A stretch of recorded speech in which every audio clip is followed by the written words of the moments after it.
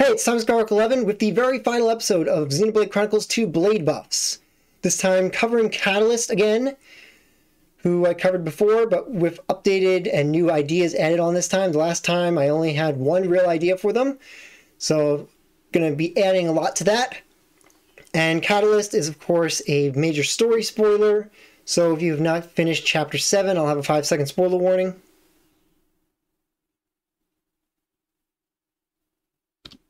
So if you're watching, you of course know that Catalyst is Blade Nia, the best healer blade in the entire game. No one can heal as good as she does. She's got regen, which is honestly a really good effect. The problem is that she can't do anything but heal. That's it. All she can do is heal, and this is a game that does not like dedicated healing. So usually what we do to buff blades is keep to their niche and try to make it more viable. The problem is her niche is healing, and she's already as good at it as you can possibly get. Normally we try to avoid just making a blade high DPS because all the best blades are already high DPS with some kind of big party support. So, for once, that's what we're going to be doing. We're going to be making her big DPS and big party support because this isn't a blade that deserves to be viable. This is a blade that deserves to be broken Nia deserves to be top tier. Nia should be one of the strongest blades. For both story reasons and because it's Nia.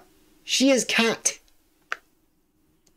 So we're going to start off then with arts. Since she is a unique blade and only has one set of arts on one character, we can just buff the arts themselves as a small buff for her before we get to the big buffs. The first is Waterflower should be a launch art. She doesn't have any driver combos, so Waterflower should be launch. It's very fast. The animation already fits for launch. Saber Slash also fits the animation for launch, but the problem is that only the last hit really fits for launch, I feel like. So Waterflower would be better for a launch art. And then this is only a minor thing, but it's going to play into what we are going to do for her big buffs. And that is a lesser known mechanic is that healing, direct healing at least, can critical hit. And when it does, it has an increased healing ratio, same with a regular critical hit. I believe it increases by the same amount as critical damage normally does, which I think is 20% maybe. I could be wrong on that. But on top of that, it also fills the party gauge. So, we would make Redemption have a hidden critical hit guarantee. When you use Redemption, it will always be a critical heal. So it will heal higher than what the ratio actually says if you do the calculations right. And it will also fill the party gauge a little bit. This isn't a big effect, and it seems like overkill because she's already so good at healing, but it'll make sense when we get to what the big effect is going to be for her. Now on to Blade Nia herself. Her stats are all pretty good, nothing to change there. Now we're not going to be changing anything about her specials either, because we want them to be high healing. And this will all make sense when we get to the skills. This one, we will also keep keeping this the same. This is actually a really good skill in general. And instant regen, we're going to replace this. There's just no reason to have this. This is a really bad effect. We're going to be replacing this with 180% damage increase for the whole party. You know how Dagas has 120%? This is going to be 180%. But to balance it out, we're going to make it a slow increase instead of an automatic increase. And that is, it will increase by 1% for every 500 HP healed to the party. So this way it will just steadily increase and you don't even have to do anything because just having regen out will increase it steadily. But the more you heal, the faster you will get the increase to your damage. For a cap of 180% damage increase to the whole party. Honestly, we could go even higher because we're trying to make her broken. We could honestly go up to 200%, but I feel like 180% is enough since Dagas is already really good at 120.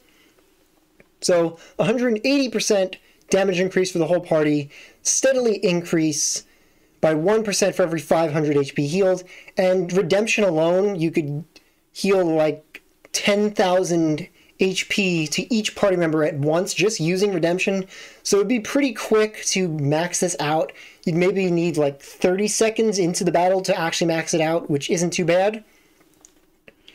And this one, we would be keeping this, but actually, it doesn't really matter which skill we add this to because we're just going to be adding an effect. Honestly, we could even make this a hidden effect that doesn't need to be on the skill chart because a lot of these skills kind of fill the screen already. But really, could just go onto any skill, and that is give her a unique overheal effect where she can heal above, above the character's max HP up to 9,999 HP cap. If the character does not already have their HP capped, then Nia can heal above the cap. Well, Nia can he heal up to the total cap. She can heal above their normal HP cap and up to the total cap of 9,999 HP. This way, you could get healing increases for her damage skill without even having to heal anyone. No one has to take any damage to get the damage boost from healing. And honestly, this is an effect that it's kind of weird that it hasn't come up in Xenoblade at all. It's fairly common in JRPGs where you can have an overheal effect, where you can heal above your max HP. So I feel like it would be a good unique effect story wise for her because she's so powerful at healing that she could heal you before you even get hurt. Just have you being healed as you're getting hurt before you even take the damage. It's where you just have higher HP to take damage with. And that's, I feel like those things together should be enough to make Nia broken. Not just good, but broken. A top tier blade not quite as on par with Poppy Cutie Pie because no one should be as powerful as Poppy Cutie Pie, but at least up there with the likes of Shulk or Elma at least. Just be a much better version of Dagas, who could also be the healer for your whole party, so that you don't need to use crit healing. If you're running her for the damage, you don't need to run crit healing on anyone, and you can just run even more damage so I feel like all those things together with the kind of builds that you could use around her besides just her on her own, increasing the whole party's damage, including her own, but would also open up a lot of new opportunities since you would have healing covered by a single party member and you wouldn't need to dedicate healing slots. You wouldn't need to dedicate slots to healing items. So you could just dedicate more to even more damage. So that will be it for this series. I've covered every blade that isn't already top tier. I've covered some blades multiple times to give updated ideas for fixing them. And Xenoblade 2, I mean, Xenoblade 3 is coming out in just a few weeks now. Hopefully, there will be no need for any kind of theorized buffs for Xenoblade 3. Hopefully, it'll be balanced enough that I won't need to think of anything. And I won't need to make any of these videos. Of course, it would be cool if I still could make these kind of videos for Xenoblade 3. I'm just hoping I don't have to. Even though it's, I mean, it's content. I should want to be able to make more content, but hopefully the game will be so good I won't need to make any content on it. That kind of content, at least. I'm gonna find plenty of things to make content about Xenoblade 3 about. Just hoping I won't need to make any me meta type of things like this with theorizing ways to make it better. Anyway, rambling about Xenoblade 3 for a while now.